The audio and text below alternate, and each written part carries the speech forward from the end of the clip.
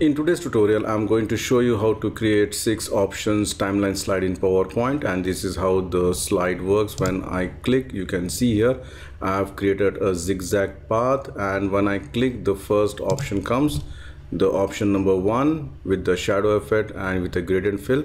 You can add the icon, the year and the detailed text. When I click, it will show you the next year. Okay, the year 2000 with different color format. Then the third, fourth, fifth, and sixth. If you have not subscribed to my channel PowerPoint University, please subscribe it now and make sure to enable the bell notification icon. You can join my telegram group with the help of this link and if you like to contribute to my channel, you can do it through PayPal or Patreon. The link is provided in the video description section and I have used Office 2019 version to do this. However, if you're using the older version, this is also possible. So let's start the tutorial add a new slide go to view enable the guides and the grid lines then go to insert shapes. From the lines i'm going to select the freeform shape. So here at this point i'm just clicking it here. You can see here. And then the first available here the closest one i'm just going to click it here. Then i'm going to click the second one. Then here i'm going to click the third the fourth. You can see here fifth sixth and then you can just click it here double click. All right now right mouse click go to format shape and I'm going to increase the width to maybe 40 so it looks something like this. All right and the color I'm going to change it to white. So nothing is visible. So now what I'm going to do is I'm just going to select the background. And going to give some light color here. You can see here whichever color which you feel this light or somewhat lighter. All right then select this line then go to the effects. Then i'm just going to you can see here 3d rotation. Just go to the 3d rotation go to presets. From the perspective i'm going to choose this one which is the perspective relaxed. Just click it like this nothing happens much difference. Then go to the 3d format and I'm going to give the depth. So you can see here I started giving the depth. Depth depending on your requirement you can give 60 70 80 90 whatever. But still nothing is visible. So then what you have to do is go to the lighting and select this one which is the two point. So it looks something like this all right? And this one let it be like this. Now if you want you can just zoom in zoom out a little bit and you can increase the size. You can see here then if the design is not perfect what you can do is right mouse click edit points and then you can adjust it. So you can see here I can just reduce a little bit here. I can increase it further here like this you can do. So you can see here this is the design. Now let me just fit to the slide. Then go to view remove this guidelines and the grid lines all right. Now again if you want to do some changes again you can right mouse click and edit the points. But let it be like this. Then i'm going to add the uh, the oval shape. And before that let me just correct this one. This is too narrow here. Uh, this is look this looks good.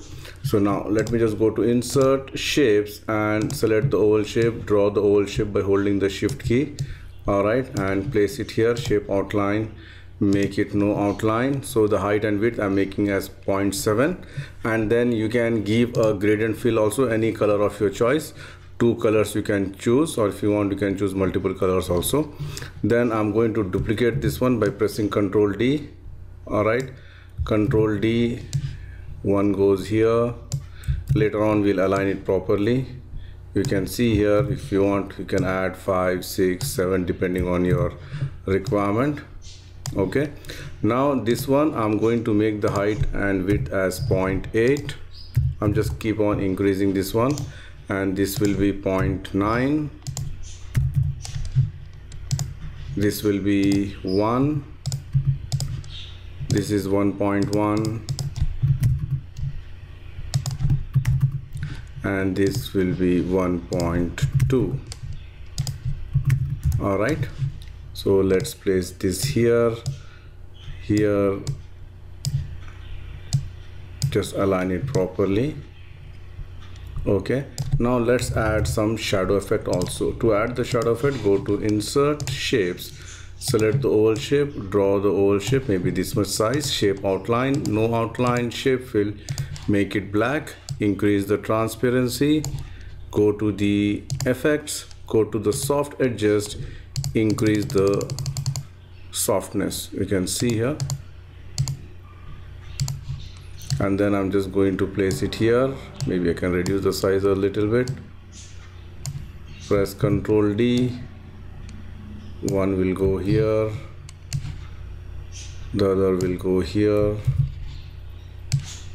So on top of each on the bottom of each oval shape or the sphere I'm just going to add this shadow effect here. Alright then select all the spheres by holding the shift key then bring this to front. All right now depending on your requirement you can change any color. For example i'm going to change to a dark purple and here i'm going to change to a light purple color. All right so you can see here this one maybe some dark orange and some light orange color. All right then here I can choose some dark blue and light blue combination.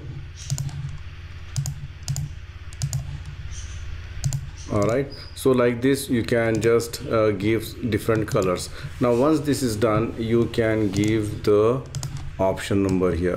Okay make it one center align make the font white. I'm going to change the font to open sans make it big. Okay press ctrl D to duplicate. Add it here ctrl D. You can keep on adding this one.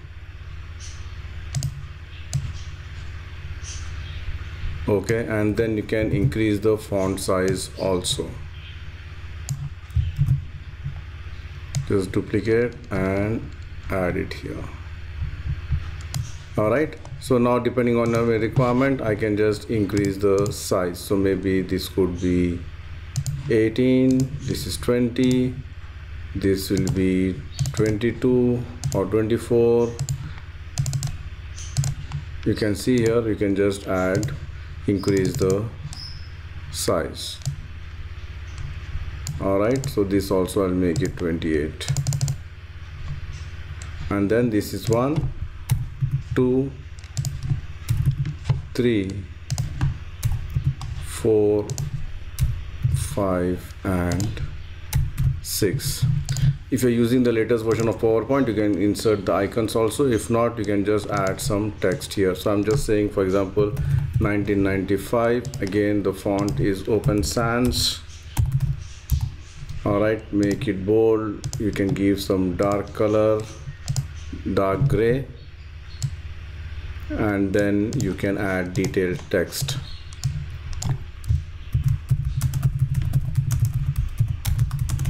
Alright so this also the same color. Reduce the size to maybe 16 alright then both of these press ctrl D to duplicate. Add it here. This one will go here control D. Now this time we have to make it right align. Go to format align right. All right so for this this is for the option 4 and this is for the option 6 now 1995 maybe 2000 this could be 2005 2010 this could be like 2016 this could be 2021 all right? So you can see here like this you can create your own timelines. And if required you can add some basic animation effect to it